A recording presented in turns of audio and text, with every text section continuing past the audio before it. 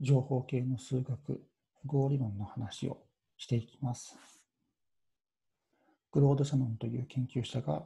1948年に通信の数学的理論という論文を書きました。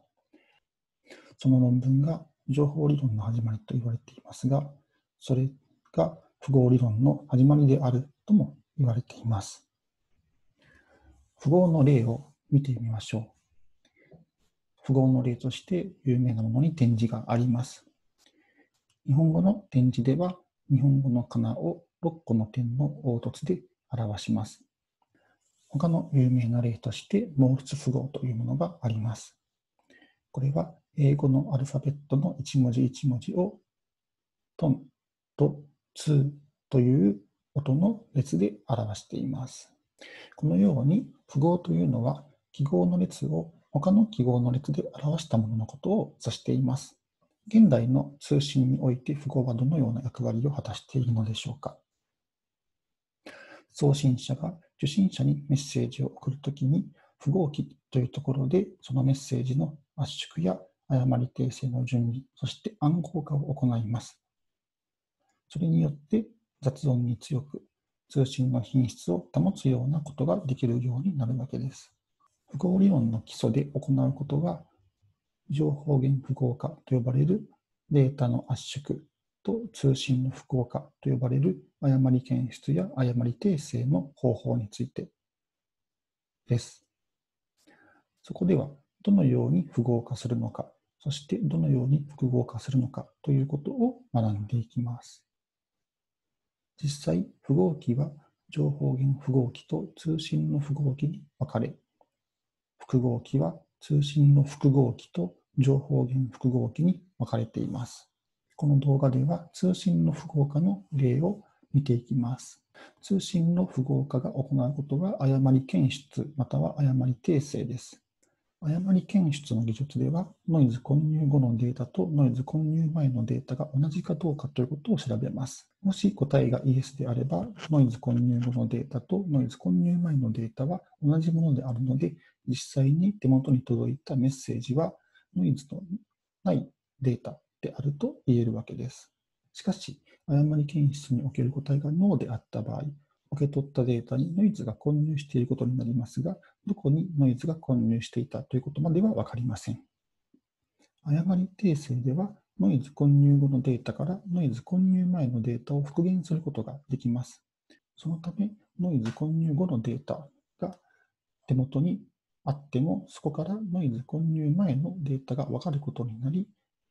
受け取りたかったメッセージがそのまま受け取ることができるようになるわけです。簡単な誤り検出の方法としてバリティ検査というものがあります。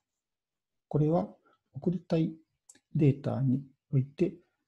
1の数がいくつあるのかということを数えます。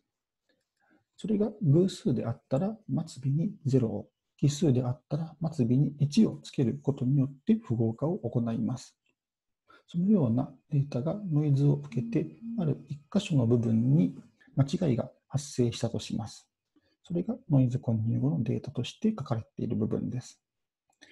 今、ノイズ混入後のデータを見てみると、1の数奇数です。奇数であるので、通信の符号機が付け加えた数値は1でなくてはならないはず。しかし、ノイズ混入後のデータとして受け取ったメッセージの最後の桁は0になっていますので、これによって誤りが検出できるわけです。この方法ではどこに誤りがあるのかということまでは分かりません。どこに誤りが分かるのかということまで検出してくれるのが誤り訂正の技術です。今送りたかった8桁のメッセージを4桁ずつに区切ります。その4桁のメッセージに対して3桁の数字をつけます。この数字をどのようにつけるのかというのを次のページで説明します。このように作ったメッセージを送ります。次のページで説明するようにある1箇所にノイズが混入した場合には、通信の複合機でその誤りを訂正して元のメッセージを復元することができます。4桁の数値に対して、その末尾に3桁の数字をこの表にあるようにつけます。仮に101000というメッセージを受け取ったとしましょう。もし誤りがなければ、1010000というメッセージは、今赤で囲んだ表の中に見つかるはずです。しかし、どこを見ても1010000はないので、1010000という受け取ったメッセージにはノイズが混入していることがわかります。1010000の中の1箇所だけにノイズが混入していたとすると、ノイズ混入前のデータとして可能なものは今挙げた7つのものになります。この7つのものがどこにあるかということを見つけてみると、1110000というものだけが見つかります。このことから、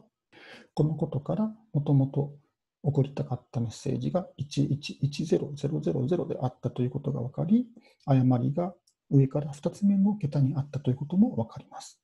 どのようにしてこの表を作るのかということを体系的に説明するためには線形代数を用いることになっています。線形代数という基礎的な数学がこのような誤り訂正の技術に生きているわけです。これで符号理論の短い紹介を終わります。ご視聴ありがとうございました。